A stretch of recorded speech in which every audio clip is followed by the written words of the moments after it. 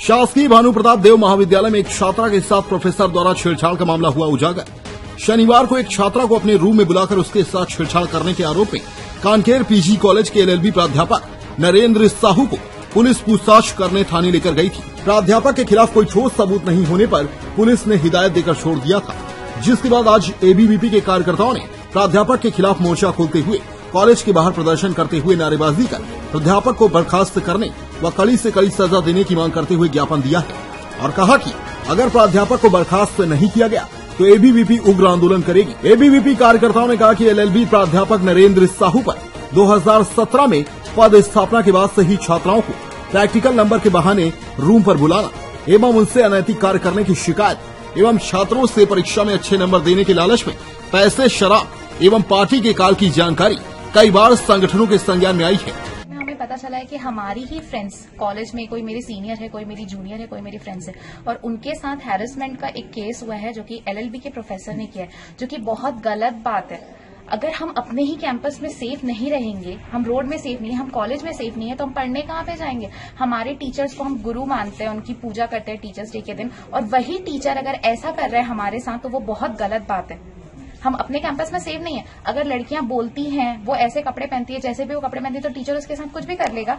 वो सब गलत है। टीचर गुरु है और हम उनके बच्चे हैं। चाहे हम उनके एज के हो या उनसे छोटे हो बच्चे बच्चे होते हैं और उनको उनको उसी नज़र से देखना चाहिए। ये गलत बात है। और जो ऐसा कर रहा है उसके खिलाफ एबीवीपी ने आज ज्ञापन दिया है जो कि बहुत सही है।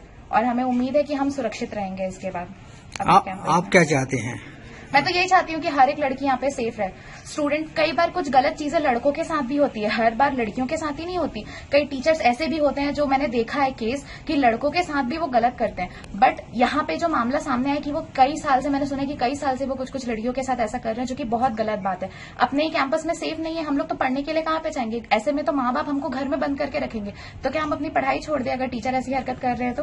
टीचर हम, हमको प्रोटेक्ट करते हैं ना तो उनको वही चीज़ करनी चाहिए। अगर कोई टीचर ऐसा कर रहा है तो उसके खिलाफ सख्त से सख्त कार्रवाई होनी चाहिए। ये मेरा मानना है।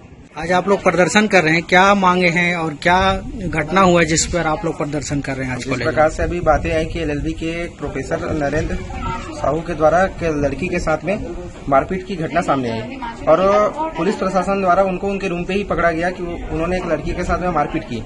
और ये मारपीट की घटना के पश्चात और बातें ये आ रही है कि उस शिक्षक ने अपने कक्षा के और उस महाविद्यालय के बच्चों के साथ में नंबर देने के मामले में उनसे दारू पार्टी या अन्य कई प्रकार के बातें सामने आई जिसका विद्यार्थी परिषद कड़ी निंदा करती है और हम मांग करते हैं कि ऐसा शिक्षक हम, हमारे महाविद्यालय में बिल्कुल ना हो और जिस प्रकार से ये छेड़छाड़ की मामलाएँ सामने आ रही है और सिर्फ़ एक ही छात्र नहीं ऐसे कई छात्रों की भी मामला धीरे धीरे उजागर होते जा रही है और इस सब चीज़ों को ध्यान में रखते हुए विद्यार्थी परिषद मांग करती है कि उस नरेंद्र साहू को तत्काल बर्खास्त किया जाए। भी आज जो है ज्ञापन दी है किस मामले में है क्या है और आप लोग क्या एक्शन लेंगे उस पर बताइए। हमारे महाविद्यालय के एक प्राध्यापक जो विधि विभाग के हैं नरेंद्र कुमार साहू उनके द्वारा अ, किसी लड़की के साथ में छेड़छाड़ और उसको अपने घर में रखने की का समाचार हमें समाचार पत्रों से प्राप्त हुआ। तो समाचार पत्र में प्राप्त होने के बाद हम उसके लिए उच्च मतलब सख्त से सख्त कार्यवाही हम लोग महाविद्यालय प्रशासन से करेंगे। साथ ही साथ उच्च अधिकारियों को इसकी सूचना देकर अवगत कराएँगे ताकि सही कार्यवाही उसके ऊपर हो सके। क्या कार्रवाई होगा मैडम? अब उच्च अधिकारियों के द्वारा क्या यहाँ से तो बर्खास्त सॉरी यहाँ से तो वो निलंबित तो होंगे ही होंगे लेकिन हम उच्च अधिकारियों के पास यदि हम भेज रहे हैं तो वहाँ से जो कार्यवाही होगी वो सर्वमान्य होगी। पखानजोड़ से विप्लव कुंडू की रिपोर्ट।